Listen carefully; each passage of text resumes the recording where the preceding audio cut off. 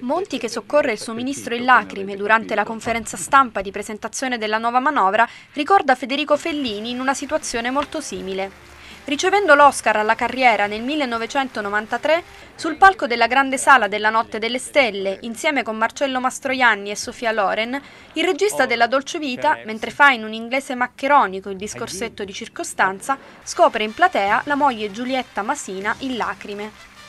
My wife. Thank you, dear Giulietta. And please stop crying.